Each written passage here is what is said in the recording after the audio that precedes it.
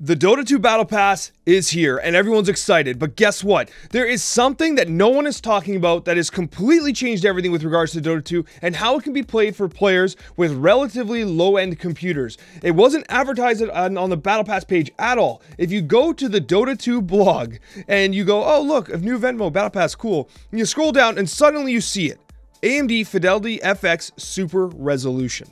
This is essentially DLSS, NVIDIA's DLSS, but an AMD implementation of it. And Dota 2 has included it with the update to the Battle Pass, and this is huge. What it essentially means is that you can use AMD's Fidelity FX to render Dota 2 at a lower resolution, okay?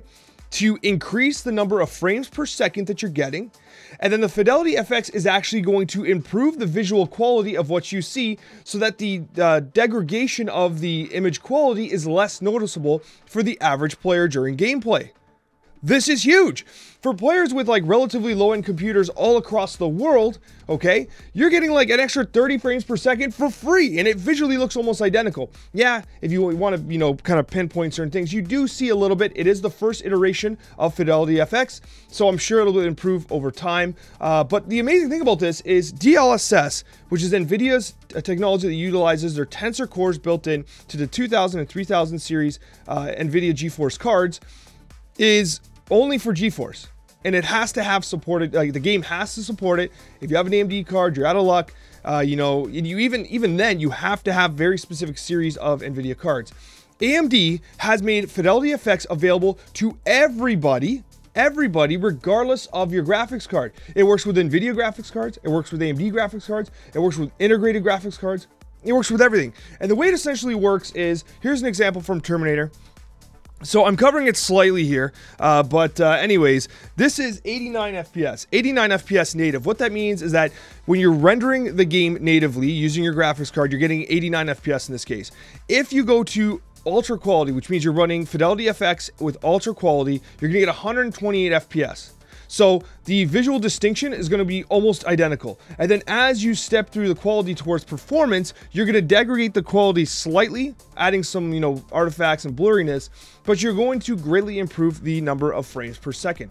And the way this works is essentially is that Fidelity FX is taking whatever image that you're rendering in Dota, and then it's going to apply a quality mode depending on kind of like um, you know you know the whatever Valve has actually kind of implemented in the game. The reason why I say this is because you can't actually select which quality mode you're running currently in Dota, uh, not to my knowledge, anyways. However, you can control the quality by which the game is being rendered. So you're actually taking the uh, the area scale and changing it yourself as the input resolution, and then you're going to be uh, getting a, a, specific output resolution dependent on what Valve is implementing in their implementation of Fidelity FX. Because it is not a feature dependent on your graphics card; it's a feature dependent on the game. It is something that the developers include. So we don't have the opportunity currently to pick which quality setting, but it is certainly being applied based on my test, it looks like we're actually using balanced, but uh, I mean, Valve could come out and say otherwise. But what we're going to do now is we're going to go in-game. I'm going to show you how to activate it,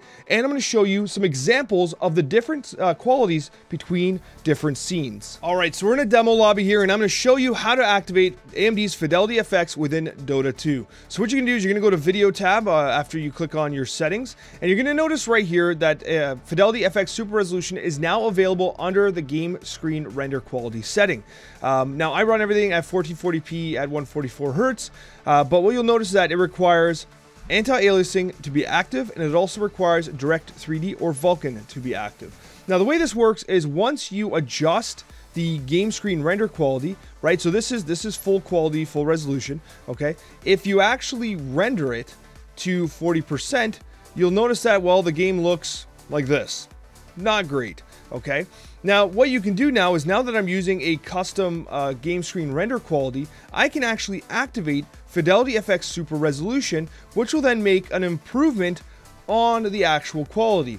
Now, what I'm going to do now is I'm going to cut you quietly to a comparison of different modes available and different combinations of Fidelity FX with different game screen render qualities, and I'm going to leave it to you to decide which is which.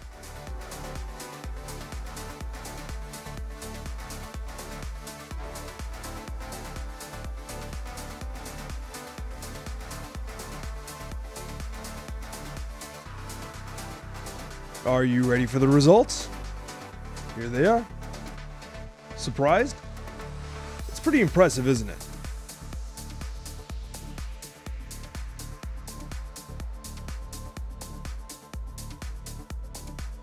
Now here's a set of four for you to compare. And as you'll see, the native 1440p and the 75% render with Fidelity FX are actually pretty close. And you'll also note that the 75% render with Fidelity FX is significantly sharper and like better looking than the 75% render only.